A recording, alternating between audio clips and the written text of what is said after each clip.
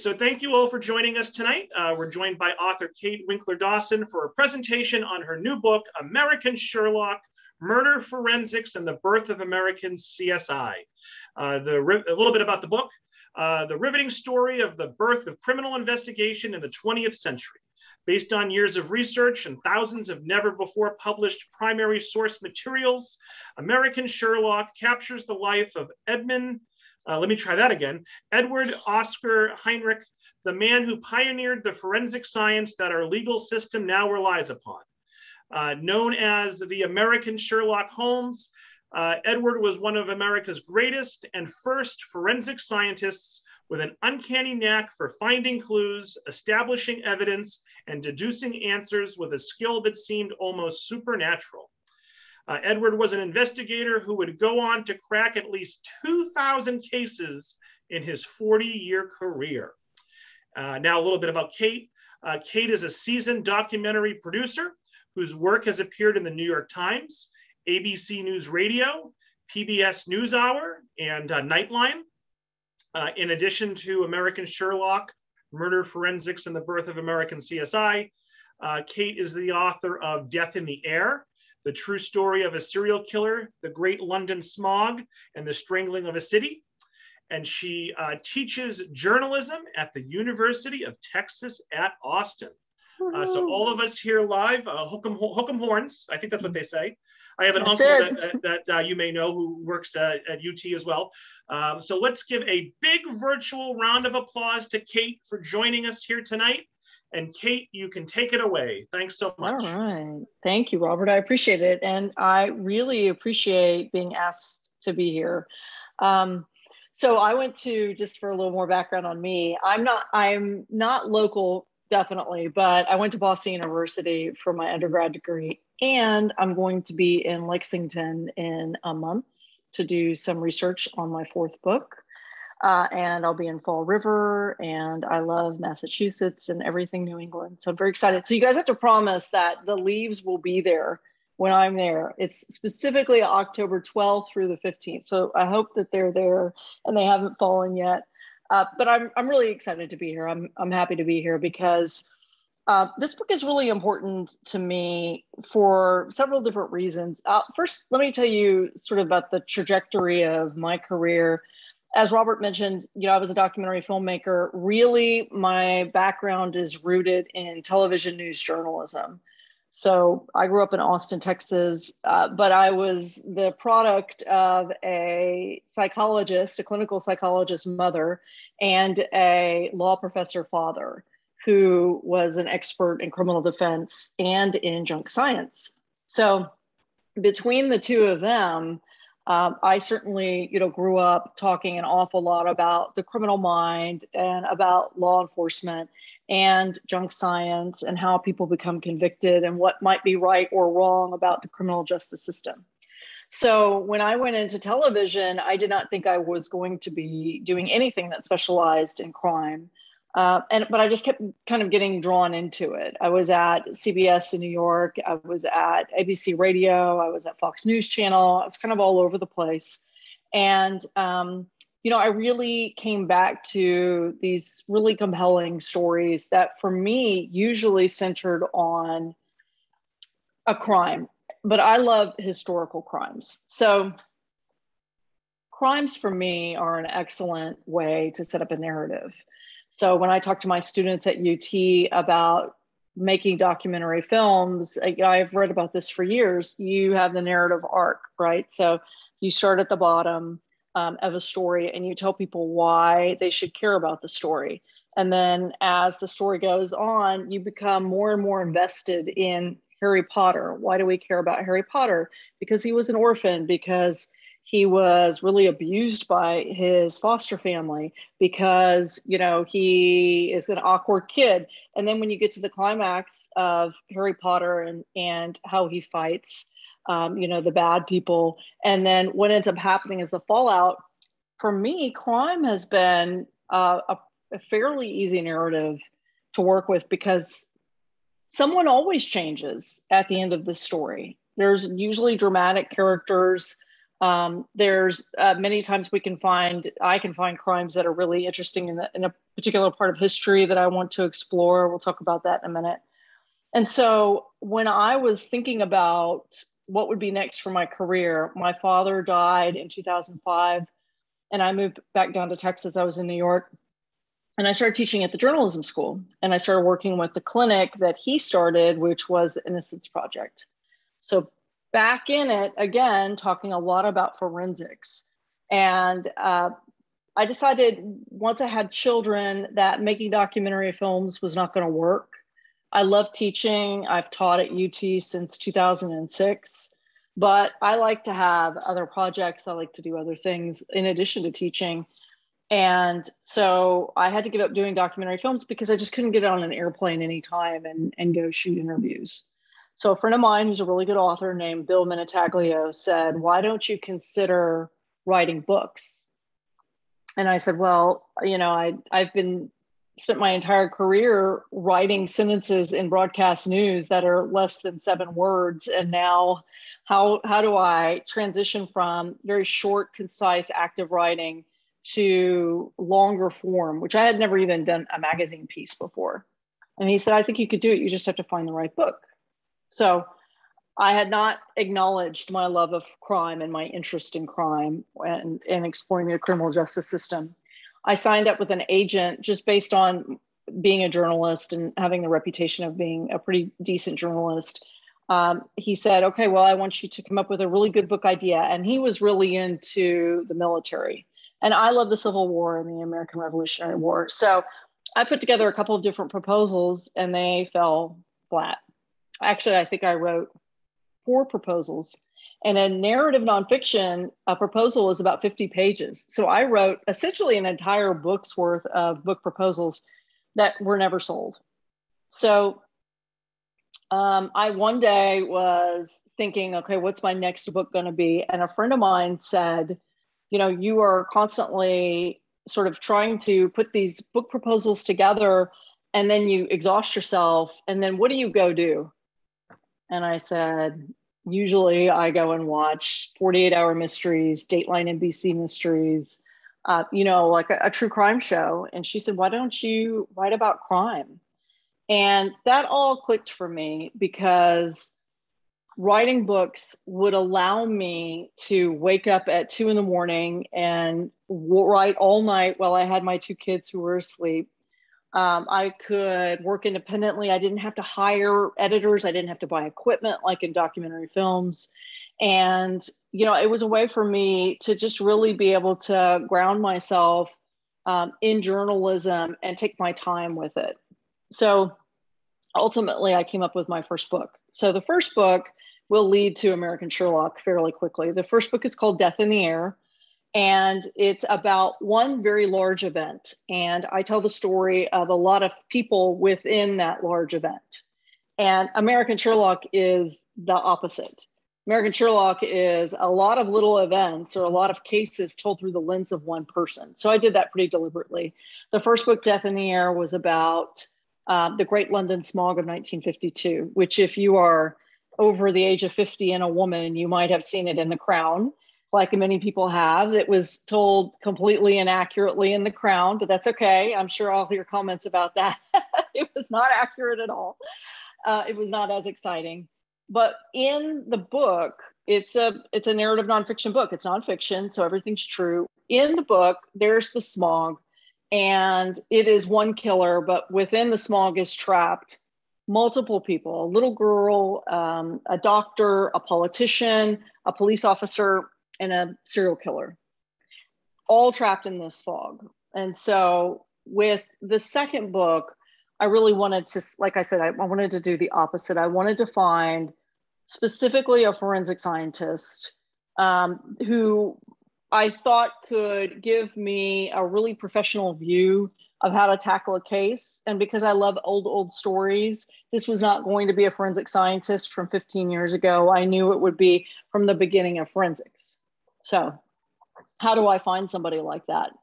Um, I have a book, but I'm not going to, I'll show it to you because none of you are going to want to buy it.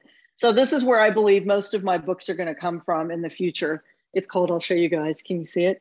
It's called Blood Letters and Bad Men. it was published in the 1970s and it is a anthology of every single criminal in American history, starting with the Mayflower.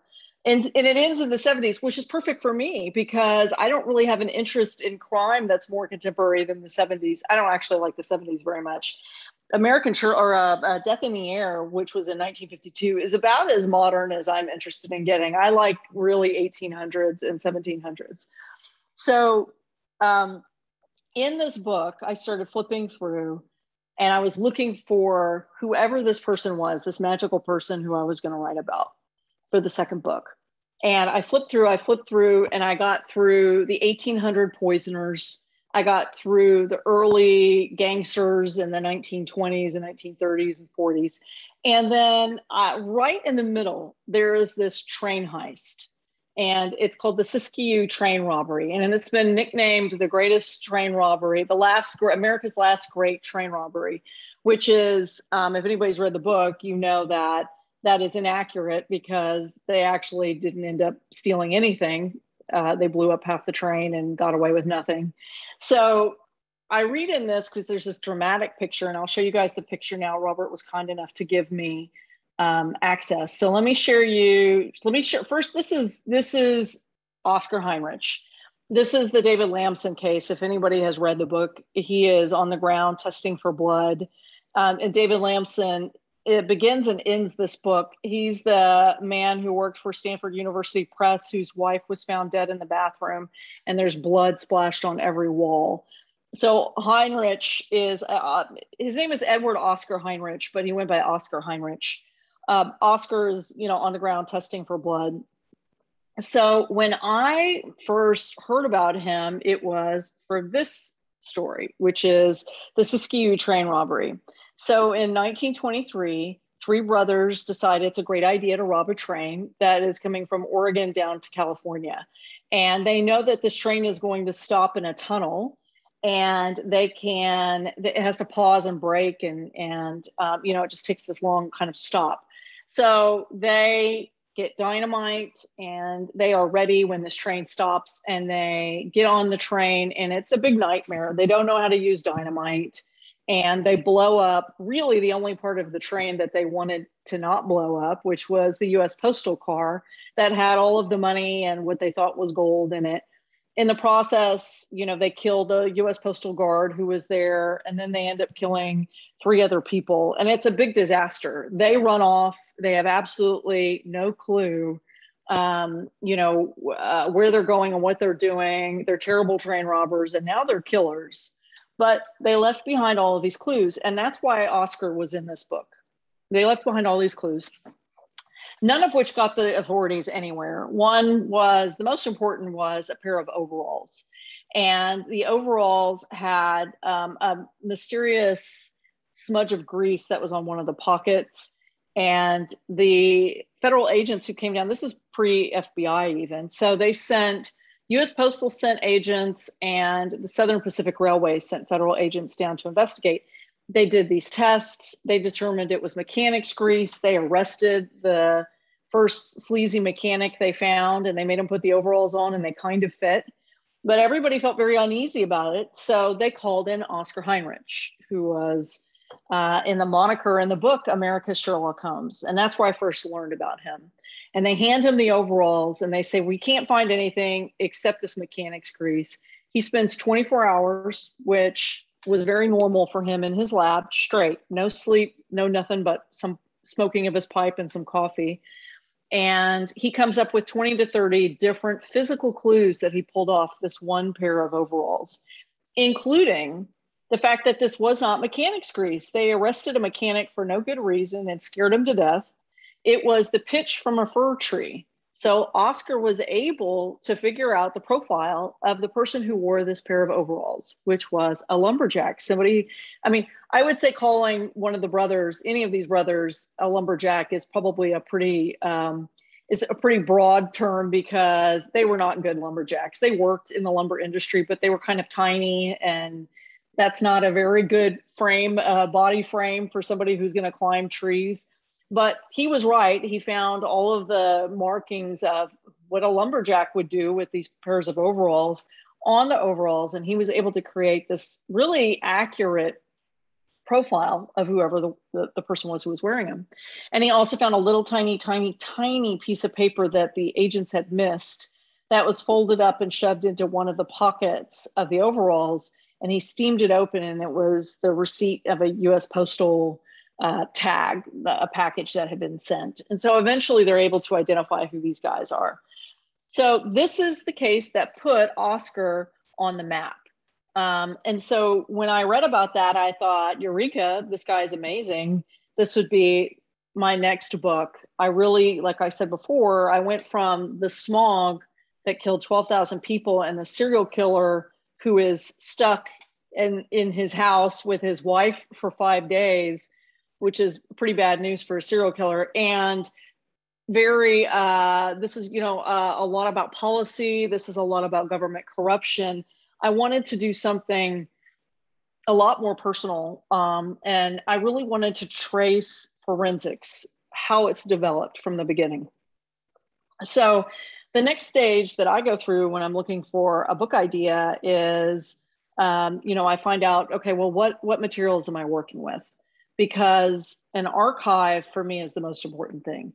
I need letters, I need memos, I need diaries, I need journals to be able to bring these people alive. So you see the pair of glasses that he's wearing? I touched those glasses. They're in his archive.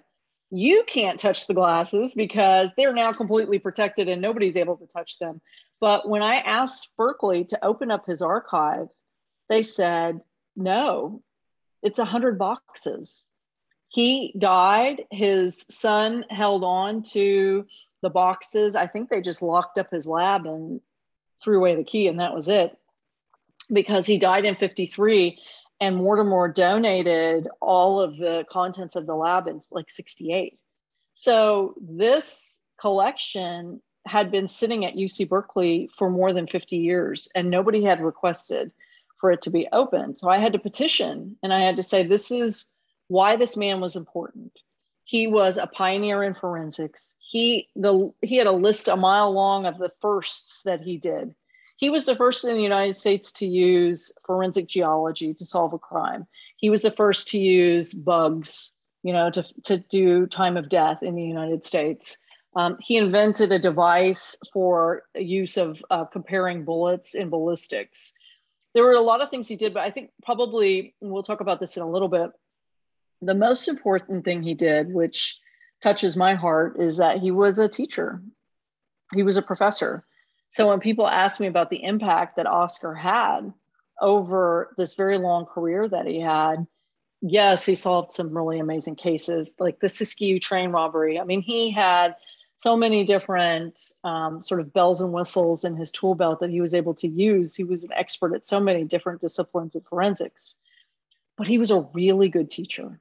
He taught the first criminalistic criminology classes in the United States. They were at UC Berkeley. And he taught with a man named August Vollmer, who was sort of America's top cop. He was a, a very well known police officer who was very innovative. Together, they used the lie detector for the very first time in the United States on one of Oscar's most high profile cases. It's in the book. Um, the lie detector is worthless, pretty much except it's great to intimidate people. But as far as a way to detect lies, it's really worthless. Oscar didn't know that. So then we get into the legacy of Oscar Heinrich, which is a mixed bag, I can say. Um, he pioneered some forensics and some tools that are really impressive. So, as we talked about ballistics, um, he used, uh, he invented a way to take a, a photograph through a dual microscope so that you could photograph two bullets at the same time under the same microscope that nobody had ever done before. And he developed the photo in the courtroom to show the jury. It was a, a pretty amazing case. He, you know, really uh, developed a lot of tools that we use today. He also helped develop and certainly lent credibility to bad science unfortunately, because at the beginning of anything, you're going to make mistakes. He was one of the first, if not, I would argue, the first person to use bloodstain pattern analysis. And uh, that is junk science. He pushed fingerprints. So if you guys have read the book, I don't know if you have or not, here's the hardback uh, version, which I'm sure the library has. So I like to do, I, I call them Easter eggs, but I know it's not the correct term. That's what my kids would call them. I like to put little things in each of my books that nobody really picks up on. This is Fatty Arbuckle's handprint. So Fatty Arbuckle is a silent film star who went on trial for manslaughter for um, killing a actress he was you know, in a having a party with essentially in San Francisco. And Oscar went down to the San Francisco City Jail and had him do the handprint. So I got the handprint. Oscar took nonstop photos of everything. And so I just told my editor, let's put the handprint on the cover um, as sort of like a little inside joke for me. Only me pretty much understands it. So um, Oscar used uh, fingerprints to completely ruin Fatty Arbuckle's life. There were so many hung jury mistrials because of this stupid evidence. There's a, I'll, I'll find it in the book. I should have pulled it up. There's a photo in the book that shows the photo that Oscar used. Um, and I don't know if you guys are going to be able to see this or not, but it was, there's a photo right here. Hopefully you can see it. It's two handprints. Oscar used this photo to prove that Fatty Arbuckle was trapping Virginia Rappe in the suite. That was the main thing. He could said he could prove using fingerprints and handprints that there was a struggle. That is number one, not the case. And number two, that is such a bad sample of a fingerprint that it would get thrown out at any court now. So they believed him. Juries believed it, you know, that fingerprint evidence was going to be that accurate in the 1920s. So he made a lot of mistakes. And I think one of the things that's most interesting about him is he had, I think, about 3,000 letters in his collection. I read about half of them. And then the people who he wrote were all pretty well known people. They kept his letters. So he kept their letters, they kept his letters. And so I was able to create conversations that really happened based on these letters. He has um, his best friend was a guy named John Boynton Kaiser, who was a reference librarian, who turned out to be a really big deal in the world of reference libraries. I had no idea, Robert probably does, but I did not know this was a huge deal. He has a, a, like five collections across the United States. He kept all of Oscar's letters to him. And Oscar shared a lot of pretty big insecurities with with uh, Kaiser. They were very close. And Kaiser sent him books. He was a little bit of his Watson to uh, Heinrich's Sherlock Holmes. And then August Vollmer, who I mentioned, the top cop, had his own collection at UC Berkeley because he taught at UC Berkeley also. Oscar's eldest son, Theodore, was a really big deal in the museum world. He was one of the monument men who went in. I think George Clooney made it into a movie, who went in after World War II and authenticated art that had been stolen by the Nazis. So Theodore had a collection at a university in Canada. And so I have all of these letters. In all of these letters, Oscar talks about a lot of his cases. Not once does he express any tiny bit of doubt about decisions that he's made, men he has sent to the gallows to die, cases that he closed, that maybe there was some room for doubt. Not once does he express any kind of doubt anywhere. And I have learned that that's a problem. That's a problem for forensic scientists, anybody who's an expert witness. It's a problem to not doubt yourself sometimes, to not want to improve your techniques. And because he worked at the beginning of forensics, I think they thought all of these guys, Goddard, all of these really well known forensic scientists who were experts, I think they just thought everything they did was right. And this is not accounting, this is people's lives. He sent, Oscar sent six men to the gallows in one year. And I have no idea whether it was based on good evidence or bad evidence.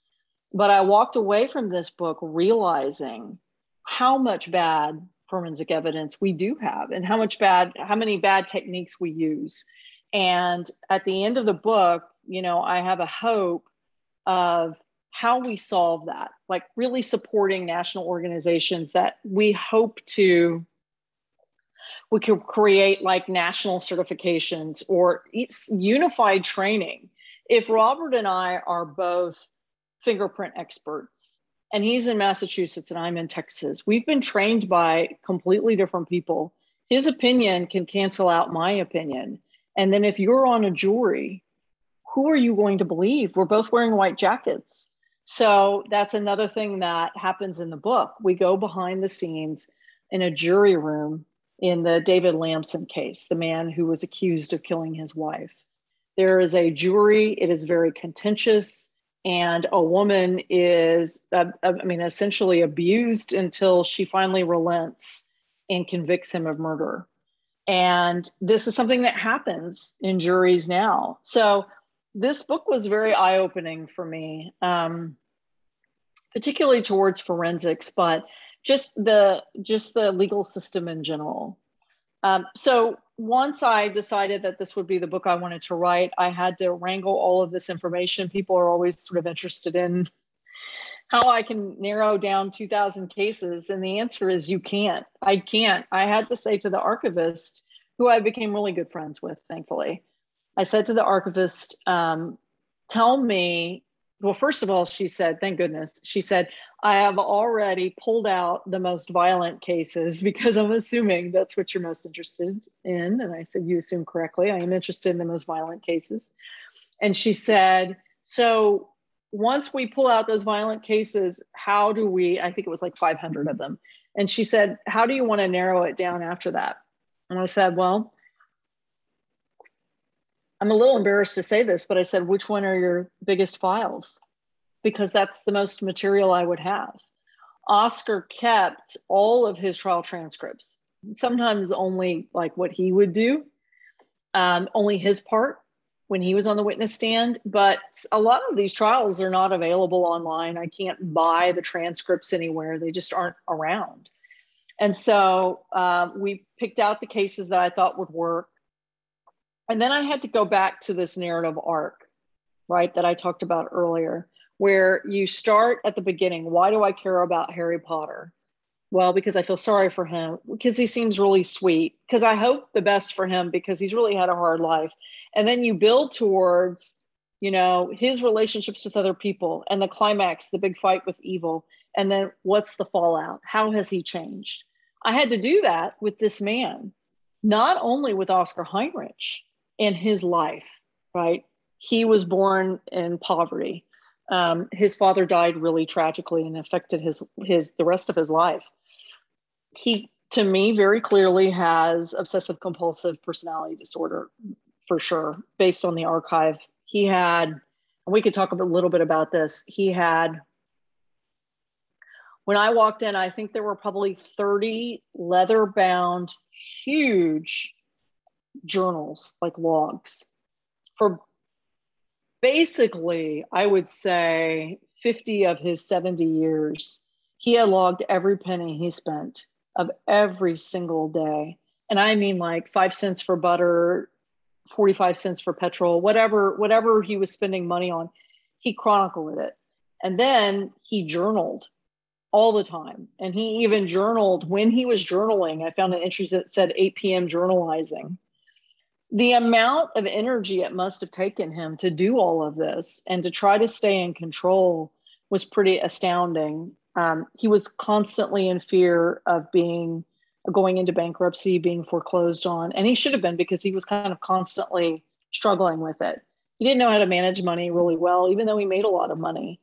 And I think a lot of it comes down to the way he was raised, the way his father died, which was very upsetting um, and I think Oscar was just constantly haunted by financial problems.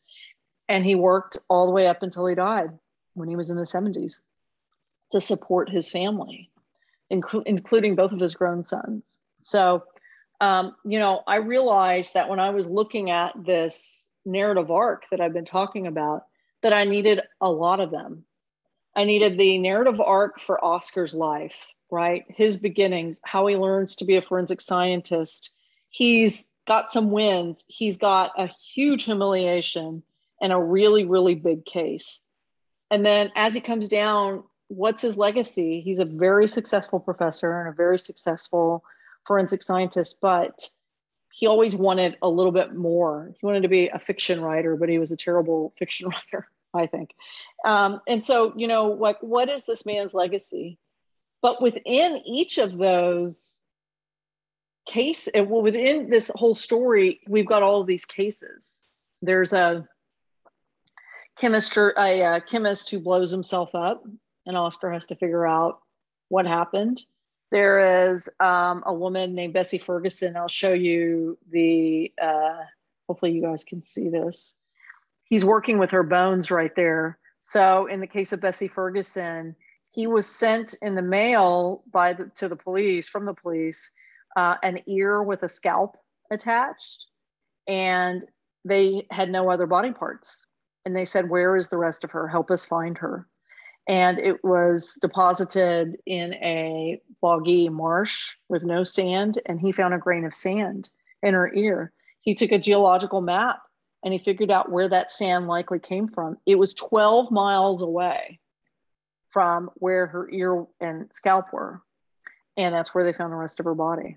I don't think there's any way they would have found the body had he not figured that out. And he used a technique that he learned as a sanitary engineer who was working with roads and highways. He used a special microscope that had a prism that when you put a grain of sand underneath, it sort of breaks it apart and tells you what the components are. And then he could use the geological map to figure out what sand in the area. I did not know that sand had different components and they had salt deposits. He knew that there was such a small amount of salt deposit on the sand that it wasn't sand that you would find on the beach, like Port Aransas, where I am.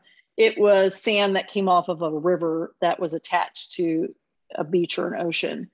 So, you know, all of this is to say that with each of these cases, there's a mini narrative arc there's Bessie Ferguson. What do we know about this woman, you know, who was found with body parts all over the place? Well, we know a lot about her.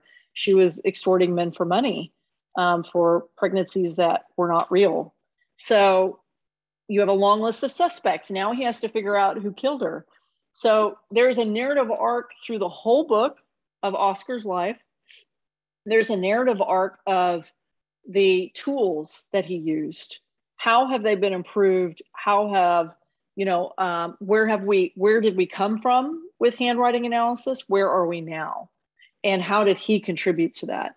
Then i have to keep an eye on his life his marriage his two sons. He let them basically do whatever they wanted and you know put them into major debt. He sent his sons to travel in the caribbean when they were older. And i mean really he spoiled them and so I have to keep an eye on all of this stuff. So you don't lose sight of who he is, but you don't also lose sight of the forensics and where we were and where and where we are. So it was a challenging book for all of those reasons to wrangle um, because these cases were complicated.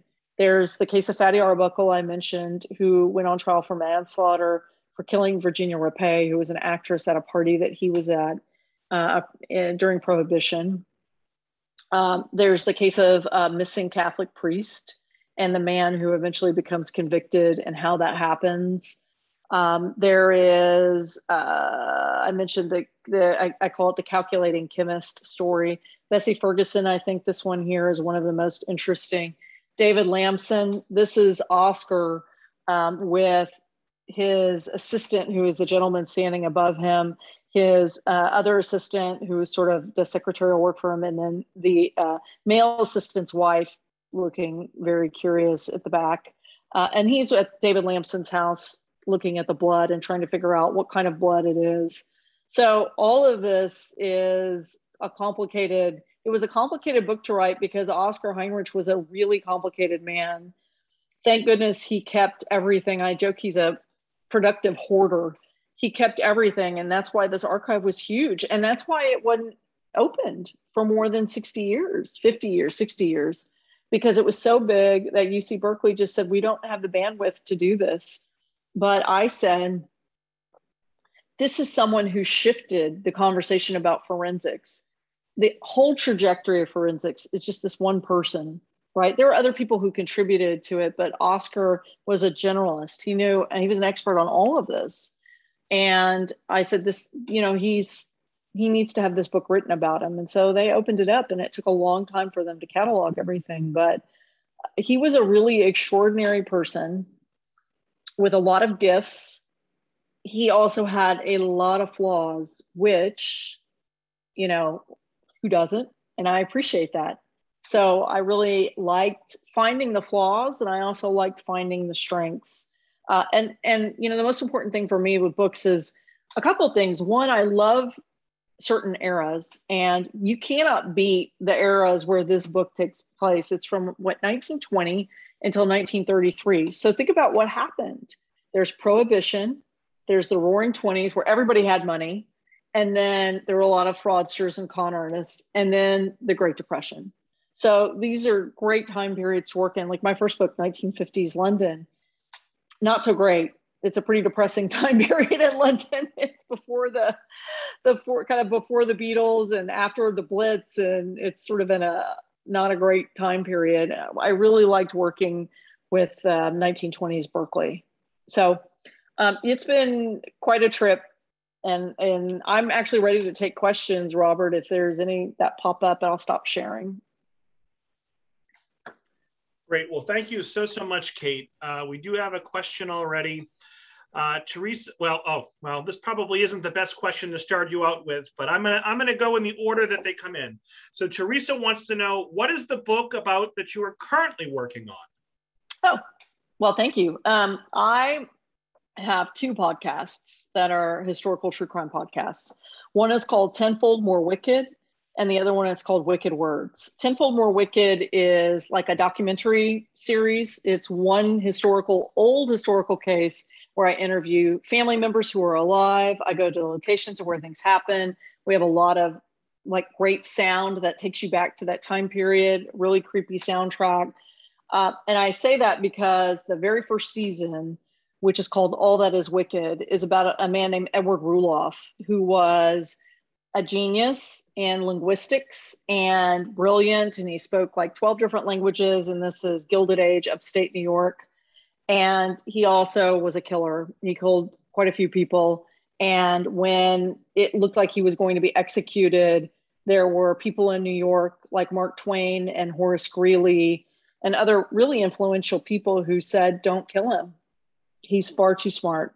So this that book is a lot about the criminal mind, and Edward Rulloff was the first. He was the first one uh, to really be studied in that way. So think Ted Bundy, not the sexual sadist part, but the brilliant and charming and deceitful, and really makes you rethink the way you view criminals and people who kill.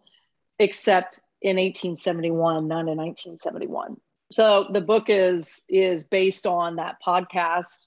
There's a group of men who come in to interview Edward Rulloff, and he's shackled to um, a jail cell in Binghamton, New York, awaiting execution for yet another murder. And all of these men come in, and they're like the 19th century mind hunters. There's a psychologist, they're the alienists, which are the psychiatrists. There are people in religion, there's journalists. They all come in and they're trying to figure out what makes this guy tick, just like they did with Bundy, just like they've done with a lot of other kind of well known criminals. And nobody could figure it out. nobody could figure it out. So so I'm excited. I'm wrapping that up. As soon as I'm done talking to you guys, I have to go back to chapter seven and try to wrap it up in the next month or so. Thank you for asking that. So Marty asks, well, Marty says Oscar is a great character. Have you had anyone interested in putting him in a movie? Uh, P.S. I loved your book. Oh, thank you. Yes, but you can't tell anyone. Um, yes, it's it's being made into a Netflix documentary series. So it'll be sort of a half fictional, half documentary style.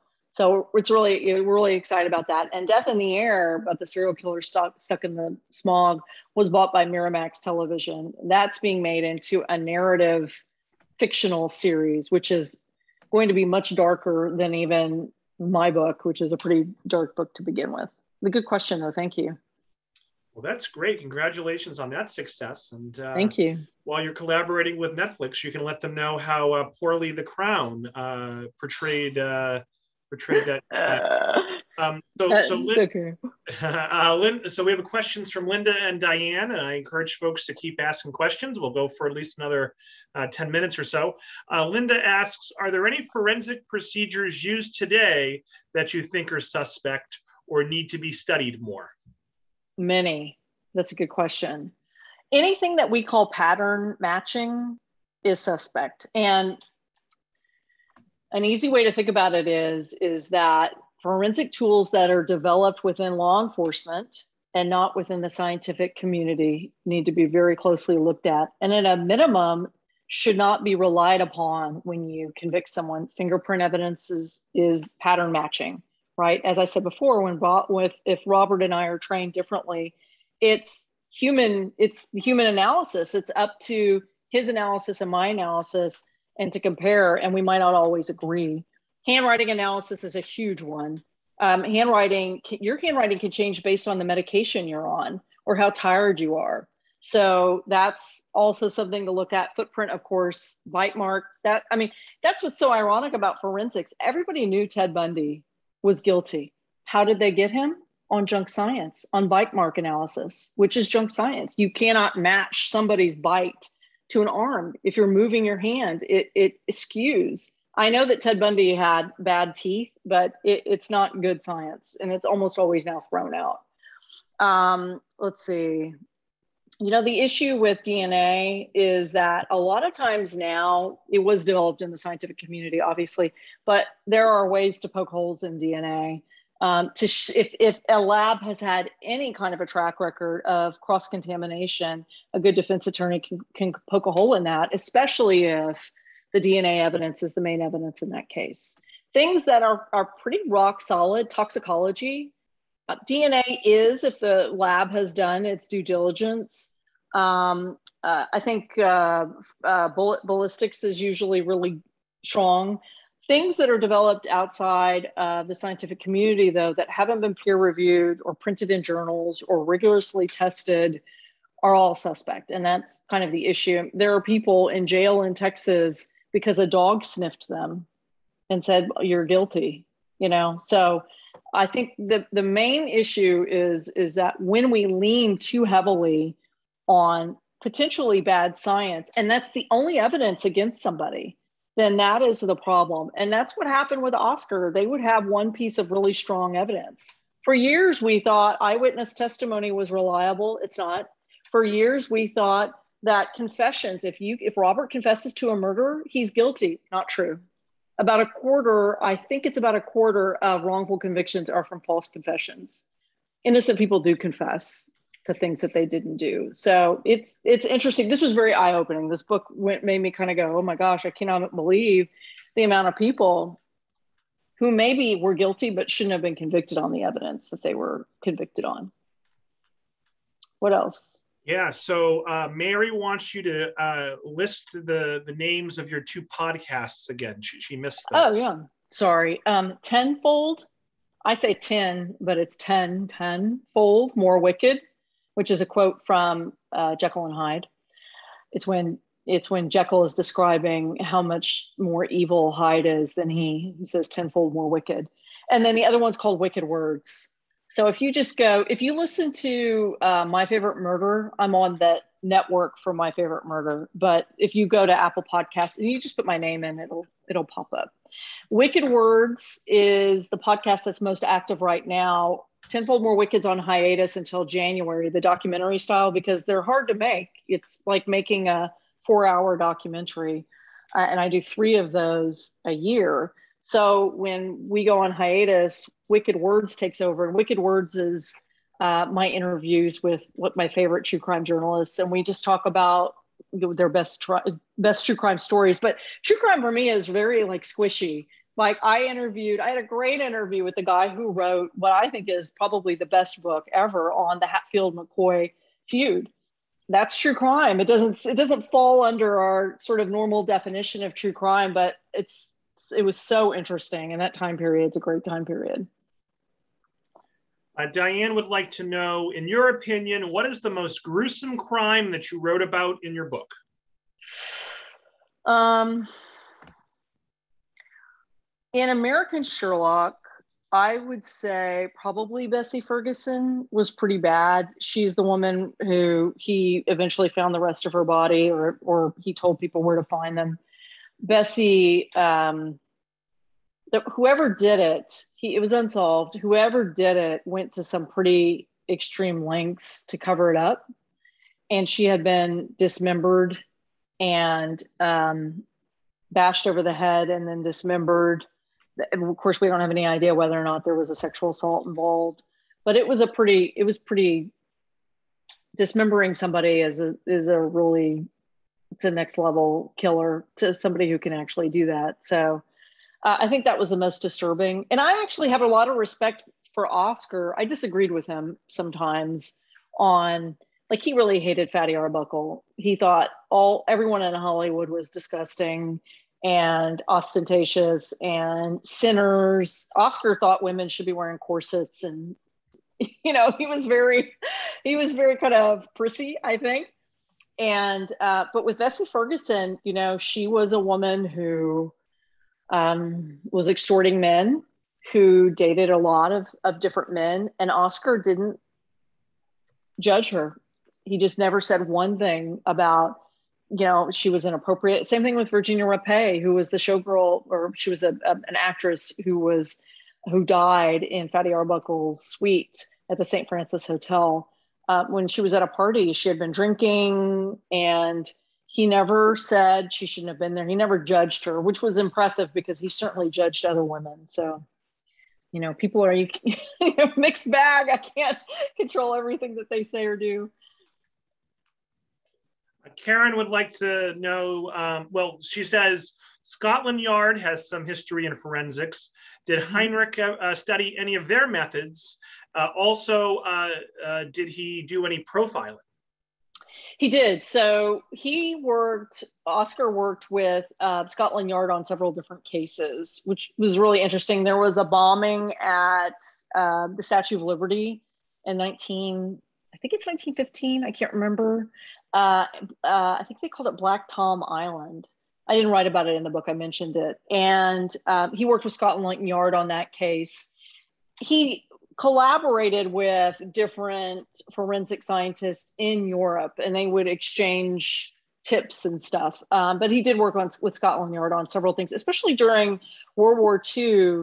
You know, my expertise with Oscar really stops at 1933. I have thousands of more letters that extend from 1933 until 1953 when he died that I just can't, I can't, they aren't in the book. So I can't get through all of those letters. But I know that he spent a lot of time in Europe working with Scotland Yard, particularly during the war.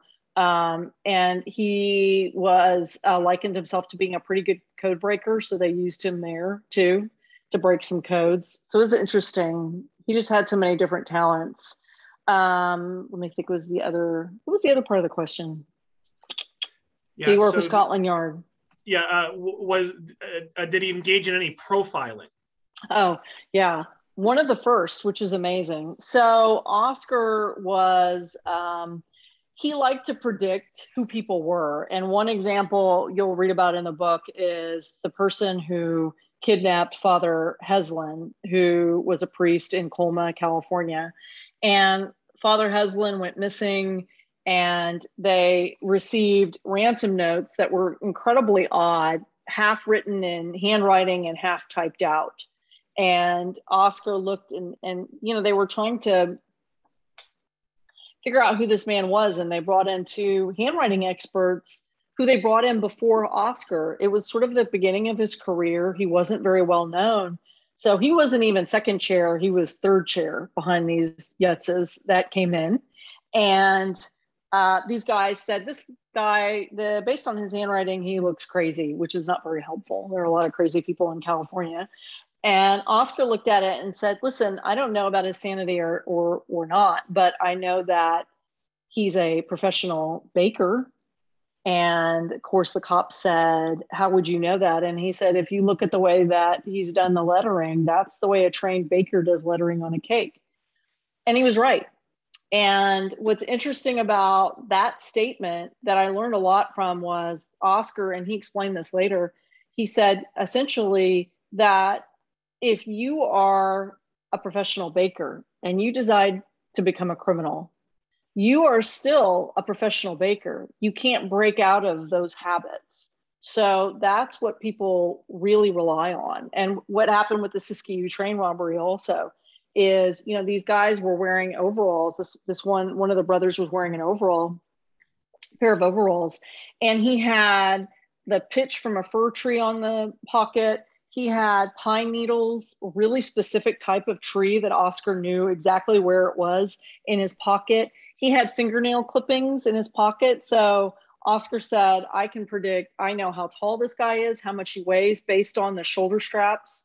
Um, you know, I think what's difficult about profiling that they figured out in the 70s is sometimes it's a little bit of a, I'm not sure how helpful it really is, you know, um, but but it was helpful in that he was able to make some confirmations, particularly with the Baker story, where you know uh, the Hightower, who was William Hightower, who was eventually convicted, was a baker, and they were able to use part of that evidence to connect him to the handwriting because Oscar knew handwriting was not always going to be, you know, um, helpful. They did something in the 1920s.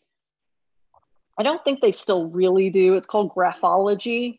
So it was the belief that your personality comes out in your handwriting. So it's not like um, Robert, you know, I can I can match Robert's check, you know, a signature on his check to a signature on the deed of his house.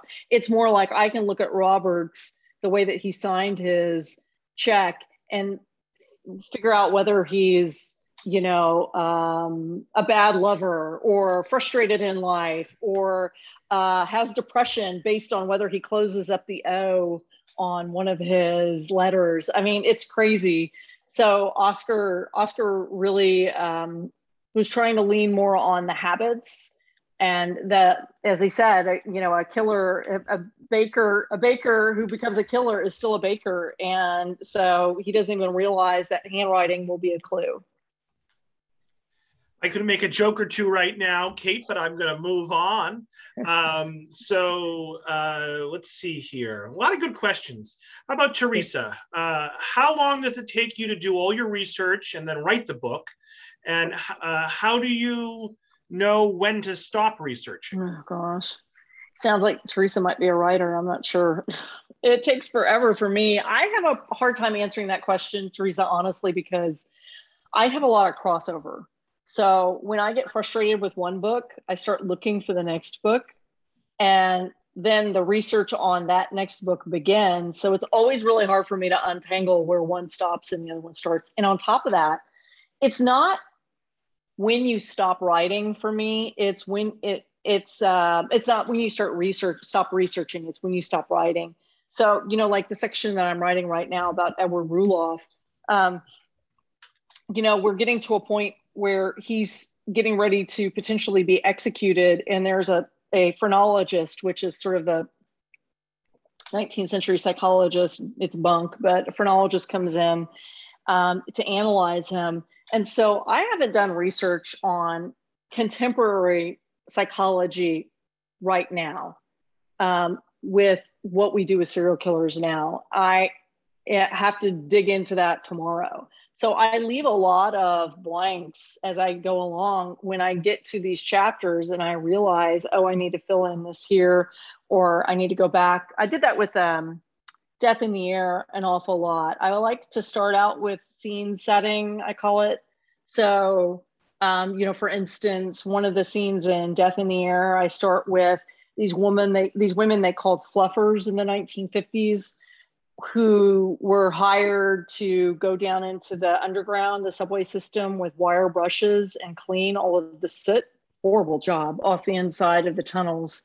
And so I start with a scene that I just on the fly when I was writing the book, I just thought, oh, I, I really want to start out with some kind of a dramatic scene. And I just found a picture of, of the fluffers on Getty images. And so I just did a little research there and wrote about it. And sometimes you go down a, a, a big hole and sometimes you don't. For research, for me to know when to stop, a lot of times for me, it's when I realize that I know exactly where I've read something. And what's even more alarming is when I realize that one source that I'm using is plagiarizing the other source. Then I kind of go, okay, well, if I can recognize where these sentences are coming from, then maybe it's time to stop and start writing my own stuff. I, am friends with uh, Bill Brands, who is a, a really H.W. Brands. He's a great history writer, and he always told me just start writing as soon as possible. He said, I do some research, but then go ahead and just get into it because I think he probably knows that you can just get into a hole you never get out of.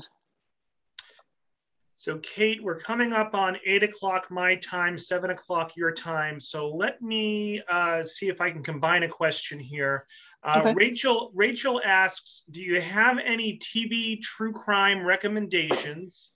And Diane asks, "Do you have difficulty suspending disbelief when you watch crime show forensics?" I do. That's a really good question. Robert was actually just telling me before this started that they're bringing CSI back which I didn't even realize. I, yes, when I work for the Innocence Project and we wait for more than a year for DNA results to come back, and on CSI they come back in 12 minutes, it's a little hard to believe.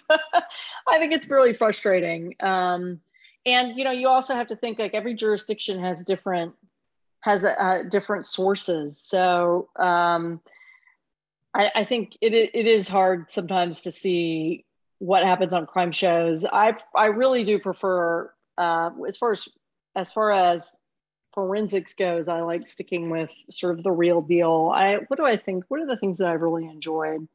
Um, I watch a lot of Netflix true crime stuff. I liked. I don't know if you. So I'll list off three or four things that I like, but n- none of them might be your cup of tea.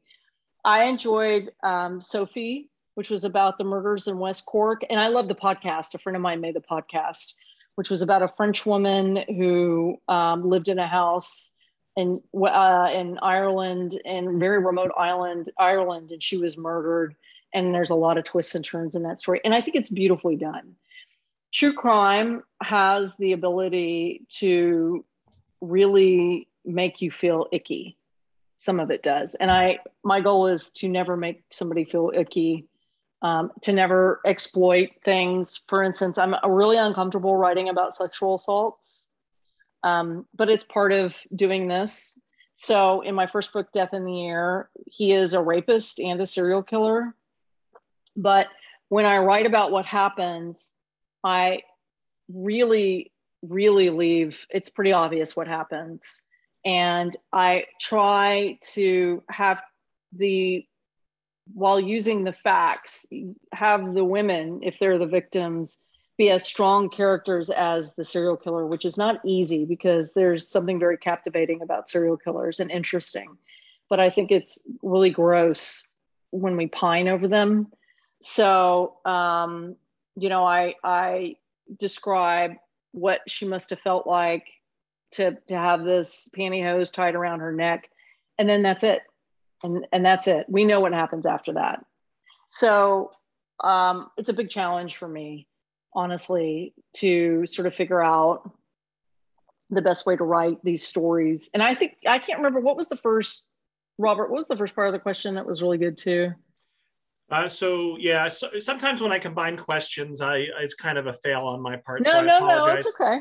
Uh, Rachel at Rachel, who by the way um, uh, is a is a fellow librarian, uh, asks, "Do you have any TV true crime recommendations?"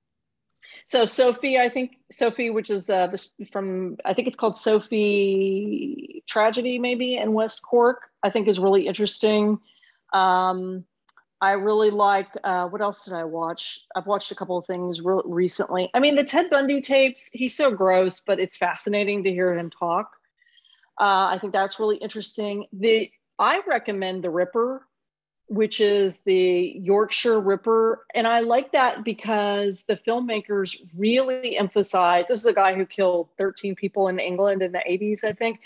I like it because the, the, um, filmmakers really emphasize the way that he was able to get away with this for so long because much like the serial killer in my book john reginald christie the guy who was the Yorkshire Ripper targeted women who were sex workers or part-time sex workers and and and some that weren't but they were all categorized in the same way. They were all sort of compartmentalized. And if you were attacked and you weren't a sex worker they didn't believe you. And then you you know they've left all of these opportunities. It's a really crazy story. Um, i think that's really interesting. I'm completely grossed out but interested in what's his name? Neil Nilsen. It just came out the Nilsen tapes. He was a scottish serial killer who killed a bunch of men. He was in london and they have his tapes and i'm conflicted about that story because you know it gives him quite a big voice, but there's a lot of that story that's on Netflix also is really interesting because his mother sounds so surprised. She said, I don't understand why people didn't pick up on this. I think if he lived at home, he was a nice boy. There was nothing extraordinary about him. If he had lived at home, we would have picked up on it. And then, you know, they cut to an interview with him saying, I was really troubled as a kid. I had a, I just nobody understood. They couldn't see. So I, that that comparison between a family's reality and the person who's committing the crime, I always find really interesting. And then I've watched some really weird films that I would say are not necessarily true crime. One is called The Woman Who Wasn't There. I don't know if you guys saw that. It's a woman who said that her husband was killed on September 11th and she was in the other tower and he was in one of the towers and she wasn't there she had become this huge victim rights advocate in new york and she she was in spain at the time and then another one is um, that's actually even more interesting is um, what is the woman's name something the wolf and something magda i can't remember it's on it's on uh, uh, Netflix. Look up The Wolf. It's a about a woman who had claimed that she had escaped from the Nazis and kind of had been raised by wolves. And the story totally fell apart, and kind of what her reality was, and and deception. I've become really interested in fraudsters because of Edward Rulloff, because of the podcast and because of this book. I'm really interested in deceivers and charlatans and stuff. So I was I, that's those two stories are not normally my cup of tea, but I am I am interested in the way those are put together. So that's those are my recommendations. Just a few of my recommendations. There you go. That was a good question. You had, you had a good responses there. Yeah. Um, so I, I, do want to be respectful of uh, Kate's time. I also don't want to ask the bug question because uh, I haven't eaten my dinner yet. So we're going to skip that question. Let's do one more, kind of kind of random, but uh, it, it, was notable. Uh, Diane says that you uh, did not mention his wife during your presentation. Was yeah. she ever involved or interested in his work, and what was she like? Marion seemed like a lovely woman and probably a pretty good partner for him but they never talked about cases in their letters. And i seriously doubt in person they talked about cases. I think he really liked to compartmentalize mm-hmm. his professional life from his personal life.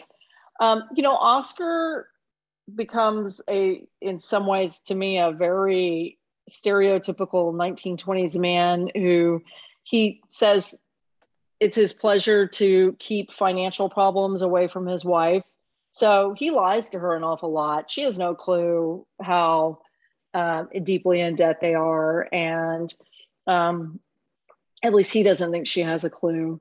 She seems like a great mom and a good provider and, a, and probably a good partner, but he was much more close, emotionally close, I think, and, and much, much more vulnerable with John Boynton Kaiser than he ever was with Marion. I am guessing in person, but certainly in letters. The letters between he and Marion were sort of like a little bit of gossip on her part, catching up on the boys and what's happening with his two kids, and and you know he he just sort of said, "I'm traveling here, I'm traveling there," and he'll mention a case, but really it was. I mean, I'm sure they they had been together for a very long time. I think they were married about 50 years when he died, maybe more. But um, she was not like a confidant in that way for him. I don't think. Excellent. Well, I think. Wait, we'll so you don't want to mean what bug question? I can't do a bug. You don't want to talk about a bug. Uh, we can question? okay. We'll end it with the bug question. It's more of a general question, but Mike says, "What was Oscar's interest in bugs, and what cases were bugs important to?" Okay, so the forensic, um, what is it, entomology? So it's the succession that bugs arrive to a corpse in a certain way. Blowflies are first. So Oscar, with the case of Bessie Ferguson, he looked. Remember the skull, uh, the skull in the ear um, piece, uh, the scalp in the ear. He looked on the outside of the ear, and there were either blowflies or blowfly eggs only. So no beetles. So it goes blowflies, and then beetles come to a corpse next. So if there were only blood blowflies, that meant she had been dead only 24, or at least the ear had been deposited 24 to 48 hours earlier. I don't remember what the rest of the wave is, but it's like blowflies and then beetles and then another kind of fly and i can't remember the order but but it's still used today to give a guesstimation of of how long the corpse has been there. It's it's fascinating fascinating fascinating. And nobody had used it in the united states before. This was the case especially because it helped him figure out how fresh the body was you know So, uh, sorry that's okay. That's okay. that doesn't faze Uh, me but no, no, no. That's great. It's it's interesting. It's interesting. Um, it's funny. You can talk about the dead bodies and I don't blink, but when you talk about the bugs, I get a little grossed out. yeah Um, so, uh, folks, let's give Kate a big virtual round of applause for, uh, for a wonderful uh, 60 minute presentation and then some. Kate, do you have any last minute, uh, last words uh, to the group uh, before we wrap up? No, keep reading. What a great group. And please support this library system. And I, you know, I mean, Robert had mentioned that I was doing this pro bono, and I just, I, it would never even occur to me to charge a library. I actually really don't charge fees for anybody, but I would never charge a library for a fee because I think we just have to continue to support them and certainly take the survey and, you know, continue to support these folks in the time that we're having right now my goodness i mean if anything we need we need libraries and books to keep us sane so thank you for supporting me and for coming to this i really appreciate it Wonderful, wonderful. And thank you, Kate. And uh, we appreciate your generosity. And I want to thank uh, Andover, Billerica, Mhm. Tewksbury, and Wilmington for, for partnering and, and helping us promote this event. And I want to, um, you know, thank all of you for joining us. And as uh, Kate said, uh, please uh, fill out uh, that feedback form when you get it tomorrow. And also uh, feel free to share the recording with anyone in your life who you feel might be interested in this presentation. So thanks again, Kate. And I hope everyone enjoys the rest of their night. thank Thanks you again. Hook, Good hook 'em horns, Kate. Hook 'em horns. that's right All hook right. 'em. Have a good one. Bye thanks